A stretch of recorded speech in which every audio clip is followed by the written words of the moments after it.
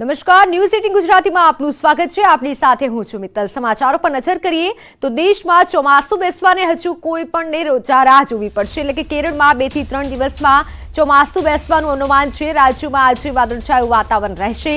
માછીમારોને દરિયો ન ખેડવાની સૂચના આપવામાં આવી છે. તો બીજી તરફ ગુજરાતમાં દક્ષિણ પશ્ચિમ પવનની પણ હવા ફૂંકાઈ છે. મહત્વનું છે કે હજુ પણ થોડી રાહ જોવી પડશે. ગુજરાતમાં દક્ષિણ, પશ્ચિમ તરફથી પવન ફૂંકાયા હતા. તો દેશમાં ચોમાસું બેસવાને હજુ થોડી રાહ જોવી પડશે.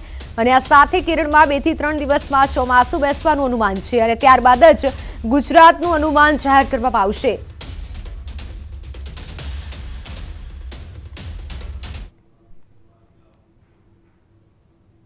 गुजरात स्टेट में अभी ड्राई वेदर एक्सपेक्ट कर रहे हैं और जो है मैक्सिमम टेम्परेचर्स की बात देखा जाए, कल जो हाईएस्ट है सुरेंद्रनगर में 41.7 आया था डिग्री सेल्सियस मैक्सिमम टेम्परेचर और अहमदाबाद में 41.3 था। एंड जो डिपार्चर्स भी देखा जाए, सभी जगह पे नॉर्मल डिपाचर्स हैं। एंड नॉर्थ गोवा में सौराष्ट्र में एक दो जगह पे बिला नॉर्मल डिपार्चर्स भी हैं। ट्वेंटी फोर आवर्स नौ लाख चेंज था। और अभी टेम्परेचर भी देखा जाए डे थ्री डे फोर हमारा नौ लाख चेंज ही रहने वाला है। मतलब एक दो डिग्री का फ़र्क आएगा। But day three day four के बाद थोड़ा डे फोर डे फाइव में एक दो डिग्री का राइस होने का चांसेस है अभी केरला का भी ऑनसेट अभी तक अ, नहीं हो गया अभी के हिसाब से दो से तीन दिन में हम एक्सपेक्ट कर रहे हैं केरला में ऑनसेट और गुजरात का फोरकास्ट अभी कुछ नहीं है ऑनसेट बट जब नॉर्मल है मिड जून तक शुरू हो जाता है તો હવે વાત પ્રધાનમંત્રી મોદીના ગુજરાત પ્રવાસની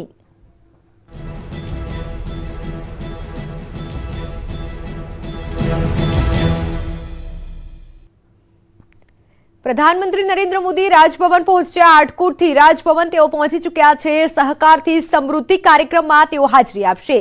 ગાંધીનગર સ્થિત મહાત્મા મંદિરમાં કાર્યક્રમ યોજાશે, જેમાં પ્રધાનમંત્રી હાલ તો રાજભવન પહોંચી ચૂક્યા છે. થોડીક જ વારમાં તેઓ હાજરી પણ કાર્યક્રમમાં આપશે. ત્યારે મહાત્મા મંદિરમાં આ કાર્યક્રમ યોજાઈ રહ્યો છે.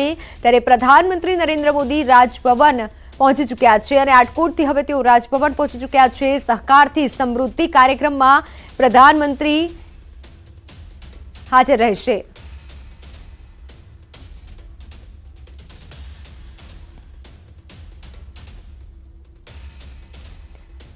મારી સાથે સંવાદદાતા ગીતા મહેતા જોડાઈ ગયા છે. ગીતા, જણાવશો કે હાલ પ્રધાનમંત્રી આટકોટથી રાજભવન પહોંચી ચૂક્યા છે. થોડીક જ વારમાં તેઓ હવે કાર્યક્રમમાં પણ ઉપસ્થિત રહેશે. શું વધુ વિગત?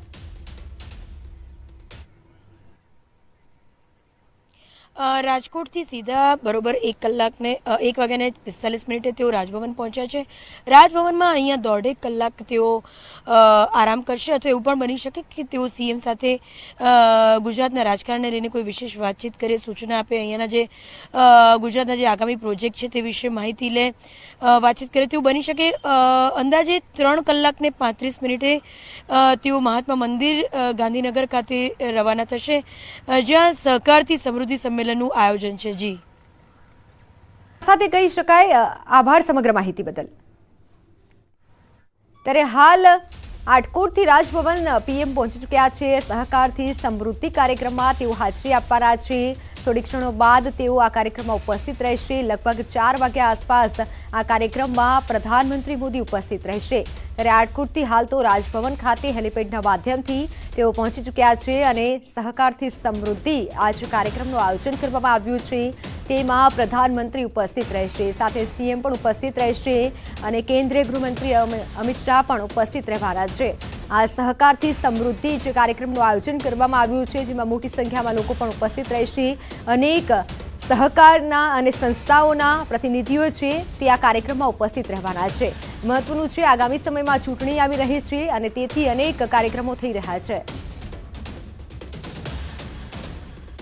ગુજરાતી અંદાજમાં ગુજરાતી ભાષામાં ગુજરાતીઓને સંબોધ્યા બાદ આજે વડાપ્રધાન નરેન્દ્ર મોદી આપ જોઈ રહ્યા છો કે ગાંધીનગર ખાતે પહોંચી ચૂક્યા છે અને રાજભવન ખાતે અહીંથી તેઓ પસાર થવાના છે. ત્યારે અહીં આપ જોઈ રહ્યા છો કે જે પ્રકારે ભૂપેન્દ્ર પટેલ દ્વારા તેમનું સ્વાગત કરવામાં આવી રહ્યું છે. વડાપ્રધાન જે ગુજરાતના પનોતા પુત્ર છે અને ગુજરાતના પનોતા પુત્ર હોવાને નાતે આજે વડાપ્રધાન છે.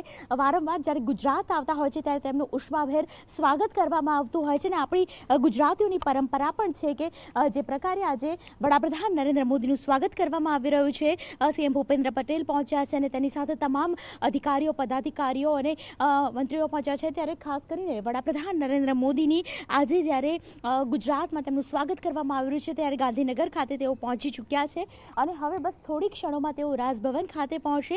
મહત્વની વાત એ છે કે રાજભવન બાદ આજે તેઓ બપોરે ચાર કલાકે સહકાર સંમેલન યોજશે. સહકાર સંમેલન યોજશે તેને લઈને પણ અનેક તર્ક વિતર્કો ચાલી રહ્યા છે કે ભાજપમાં જ્યારે અ, જે પ્રકારે ગતિવિધિઓ વધી છે તેને લઈને પણ એવું લાગી રહ્યું છે કે ગુજરાતમાં હવે ચૂંટણીની તૈયારીઓ થઈ રહી છે.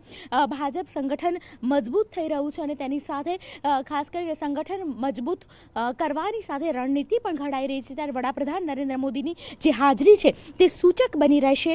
આપ જોઈ રહ્યા છો દ્રશ્યોમાં જે એક્સક્લુઝિવ દ્રશ્યો ન્યૂઝ એટીન ગુજરાતી આપને પહોંચાડી રહ્યું છે કે જ્યાં વડાપ્રધાન નરેન્દ્ર મોદીની આ પહેલી ઝલક જે વડાપ્રધાન નરેન્દ્ર મોદી આઠ વર્ષમાં માત્ર એક જ દિવસ બાકી છે ત્યારે ખાસ કરીને ગુજરાતમાં જોવા મળી રહ્યા છે અને આઠ વર્ષ દરમિયાન તેમની જે કામગીરી છે તે કામગીરી પણ અભૂતપૂર્વ રહી છે, અકલ્પનીય રહી છે, ત્યારે તે વચ્ચે વડાપ્રધાન નરેન્દ્ર મોદી હવે ગુજરાતના પ્રવેશમાં વધી એકવાર અને ગુજરાતના પ્રવાસ સાથે આજે તેઓ ગાંધીનગર અને સહકાર સંમેલન હવે યોજશે, જે પ્રકારે રાજકોટમાં તેમણે સંબોધન કર્યું, ગુજરાતી ભાષામાં તેમણે સંબોધન કર્યું અને જસદણ ખાતે જે પ્રકારે આજે હોસ્પિટલનું ઉદ્ઘાટન કરવામાં આવ્યું અને કહેવામાં આવ્યું કે મિની એમ્સ છે. ત્યારે તેને લઈને પણ જે ગુજરાતીઓનો ઉત્સાહ હતો તે જોવા મળ્યો હતો. ત્યારે આ વખતે પણ ગાંધીનગરમાં જ્યારે સહકાર સંમેલન યોજશે ત્યારે પણ મહત્વની વાત છે કે ગુજરાતમાં જ્યારે ગુજરાતના પનોતા પુત્ર આવી ચૂક્યા છે, તેનું તેનું સ્વાગત ઉત્સમાભેર કરવામાં આવી રહ્યું છે. કેમેરા પર્સન ખેંગા રાઠોડ સાથે દીપિકા ખુમાણ,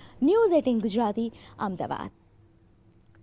મારી સાથે સંવાદદાતા મયુર જોડાઈ ગયા છે. જી મયુર, આજ હાલ આપ ત્યાં ઉપસ્થિત છો. ત્યાં કેવી તૈયારી છે? સહકાર સંમેલન યોજાઈ રહ્યો છે. કોણ કોણ ત્યાં ઉપસ્થિત રહેવાનું છે?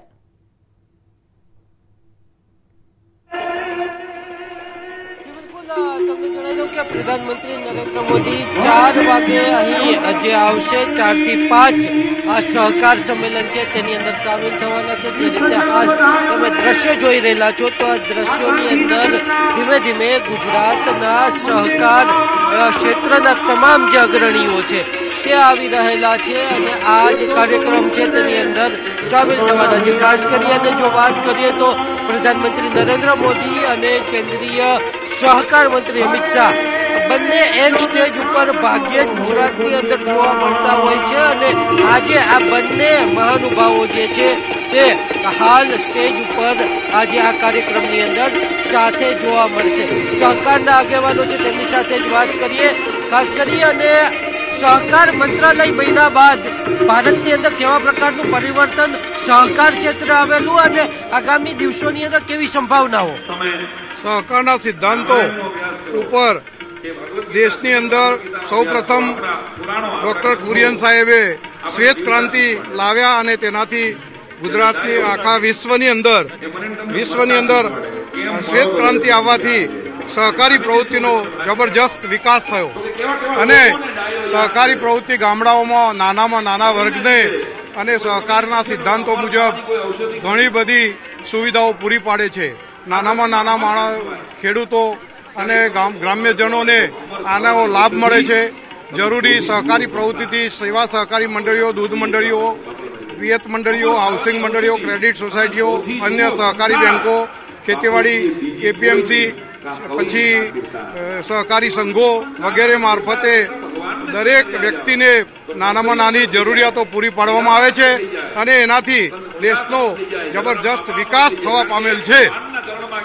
બિલકુલ, હાલ તમે જે રીતે દ્રશ્યો જોઈ રહેલા છો, તો ધીમે ધીમે જુદા જુદા સહકાર અને અગ્રણીઓ જે છે તે અહીં આવી રહેલા છે. સાથે જ જો વાત કરીએ તો પ્રધાનમંત્રી નરેન્દ્ર મોદી અહીંથી સહકારથી સિદ્ધિ સુધીની જે સફર દેશે નક્કી કરેલી છે, તેનો રોડમેપ પણ આપશે. સાથે જ બે હજાર બાવીસની વિધાનસભાની ચૂંટણી આવી રહેલી છે, તો ચોક્કસ તેનો રાજકીય ફાયદો પણ થશે. પરંતુ સૌથી મોટી વાત એ છે કે જ્યારે દેશની ઇકોનોમીને ફાઈવ ટ્રિલિયન ડોલરની ઇકોનોમી કરવાની છે, ત્યારે સહકાર તેનો પાયો છે અને તેની અંદર સહકારની ભૂમિકા જે છે તે મહત્વની રહેશે. જી, મયુર, અને આ સાથે કહી શકાય કે સહકારી જે પ્રવૃત્તિઓ છે તેના પર ભાર મૂકવામાં આવશે. આગામી સમયમાં બે હજાર બાવીસની ચૂંટણી આવી રહી છે, ત્યારે તેનું આ એક પગલું કહી શકાય.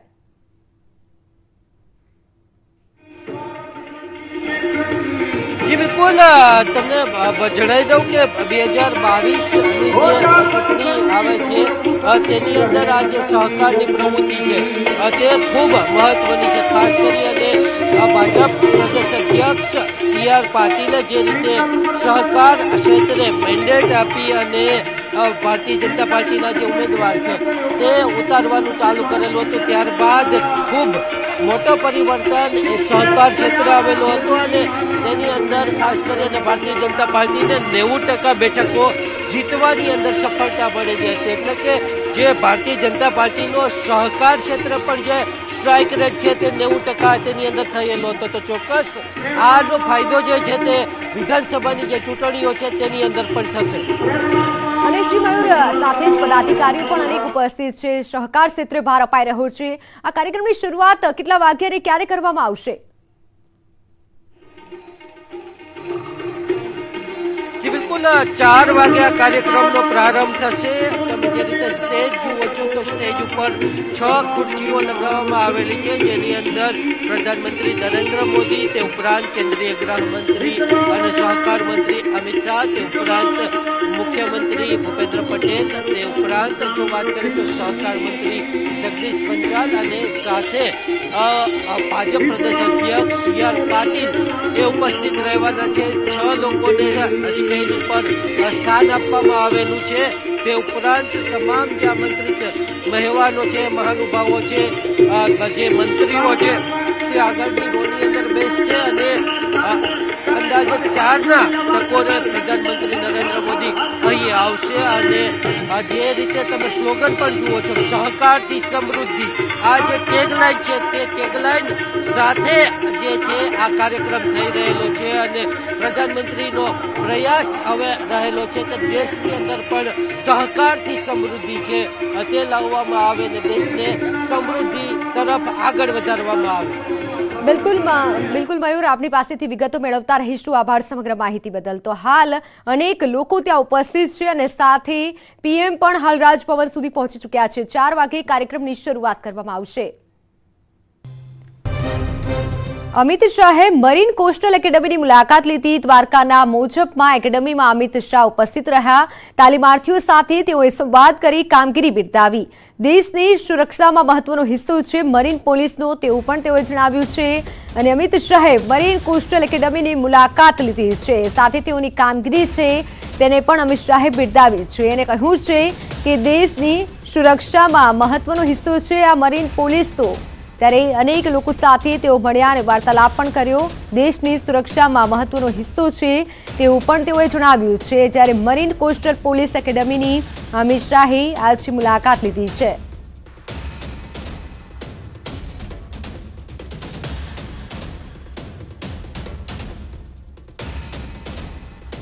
લેવલનો કાર્યક્રમ નડિયાદ ખાતે છે.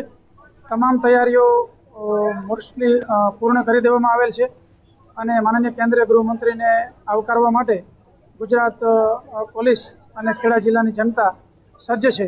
આ માટે પૂરતા પ્રમાણમાં પોલીસ બંદોબસ્ત ચુસ્ત રીતે આયોજન કરવામાં આવેલ છે. છાશ પાણી, નાસ્તા, જમવા, તમામ પ્રકારની બાબતોનું ધ્યાન રાખવામાં આવેલ છે. જેથી ખેડાના નડિયાદ ખાતે પોલીસ કર્મીઓ માટે રહેણાંક અને બિન રહેણાંક મકાનોનું લોકાર્પણ અમિત શાહના હસ્તે થશે. ઓગણત્રીસમી અમિત શાહ નડિયાદ આવશે, જેને લઈને તૈયારીઓ પણ થઈ રહી છે. હેલીપેડ ગ્રાઉન્ડ અને આસપાસના માર્ગો પર પોલીસ જવાન તૈનાત કરવામાં આવ્યા છે. સમગ્ર રાજ્યમાંથી સત્તરસો જેટલા પોલીસ જવાન તૈયારીમાં જોડાયા છે. કાર્યક્રમમાં અમિત શાહ સંબોધન કરશે, જ્યારે ભાજપ ધારાસભ્યો, હોદ્દેદારો સહિત કાર્યકરો પણ ઉપસ્થિત રહેશે. ત્રીસ લોકો બેસી શકે તે પ્રકારની વ્યવસ્થા પણ કરાઈ છે.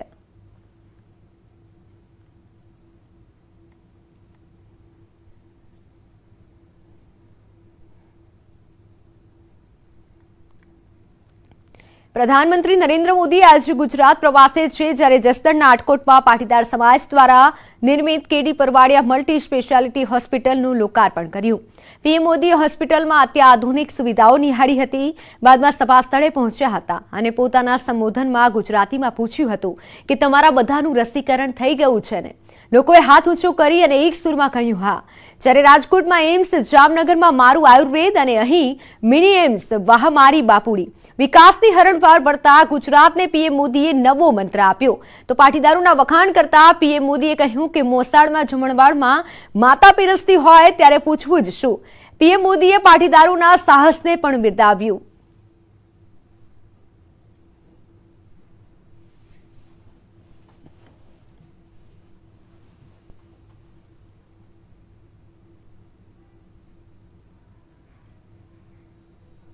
બે હજાર ચૌદ પહેલા ગુજરાતમાં એવા અનેક પ્રોજેક્ટ હતા કે દિલ્હીમાં એવી સરકાર હતી કે અહીંથી પ્રોજેક્ટ જાય ને, તો એમને પ્રોજેક્ટ નહોતો દેખાતો. એમને અંદર મોદી જ દેખાય. અને એવું મગજ ફટકે, તરત જ કેન્સલ, રિજેક્ટ કેન્સલ, રિજેક્ટ. બધા કામોને તાળા મારી દીધા હતા. તો કચ્છમાં ફરી ચરસના દસ પેકેટ મળી આવ્યા છે. અબડાસાના સિંઘોડી નજીક મળ્યા છે આ ચરસના પેકેટ. જખો, મરીન પોલીસને પેટ્રોલિંગમાં સફળતા મળી છે. પોલીસે પેકેટ કબજે કરી આગળની કાર્યવાહી હાથ ધરી છે. કચ્છમાંથી ફરી એક વખત ચરસના દસ જેટલા પેકેટ મળી આવ્યા છે. જખો, મરીન પાસેથી આ પેકેટ મળી આવ્યા છે. ફરી એકવાર પોલીસને મોટી સફળતા મળી છે અને ચરસના દસ પેકેટ પોલીસે પકડી પાડ્યા છે. કચ્છમાંથી આ પેકેટ મળી આવ્યા છે. જખો મરીન પોલીસને મોટી સફળતા મળી અને ચરસના દસ પેકેટ પકડી પાડ્યા છે. પોલીસે આગળની કાર્યવાહી પણ હાથ ધરી છે.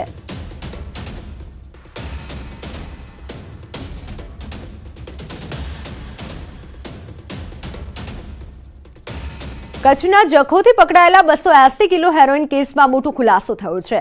દિલ્હીથી પકડાયેલા બે આરોપીઓની પૂછપરછમાં ખુલ્યું છે કે આરોપીઓ હેરોઇન રિફાઇન કરી તેને વેચવાની ફિરાકમાં હતા. બંને આરોપીઓની મુઝફ્ફરનગરથી ફેક્ટરી પર તાજેતરમાં એટીએસ અને એનસીબીએ દરોડા પાડ્યા હતા, જેમાં હૈદર અનામત અલી, મોહમ્મદ ઇબ્રાહીમની ધરપકડ થઈ હતી. પાસઠ કિલોગ્રામનો હેરોઇનનો જથ્થો પાકિસ્તાનથી આવ્યો હતો. આજે બંને આરોપીઓને ભુજની સ્પેશિયલ એનડીપીએસ કોર્ટમાં રિમાન્ડ માટે રજૂ કરાયા હતા.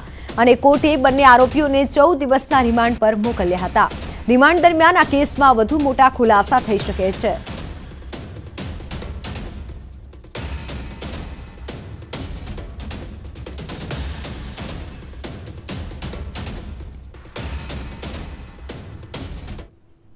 અન્ય સમાચારની વાત કરીએ તો પત્નીની હત્યા કરી મૃતદેહને દાટી દીધો. જૂનાગઢના વિસાવદરના પ્રેમપરાની ઘટના સામે આવી છે કે જેમાં પિતાએ દીકરીને મળવાનું કહેતા ભાંડો ફૂટ્યો. પોલીસે યુવતીના અવશેષો કબજે કર્યા જ્યારે આરોપી જીવરાજ માથાસુરિયાની ધરપકડ થઈ છે. જૂનાગઢના વિસાવદરના પ્રેમપુરાની આ ઘટના સામે આવી, જેમાં પિતાએ દીકરીને મળવાનું કહેતા આ સમગ્ર ભાંડો ફૂટ્યો હતો. પતિએ પત્નીની હત્યા કરી, તેને દાટી દીધી હતી. હાલ તો પોલીસે સમગ્ર રીતે તપાસ હાથ ધરી છે. પરંતુ ઘટના સ્થળેથી પત્નીના અવશેષો પણ મળી આવ્યા છે.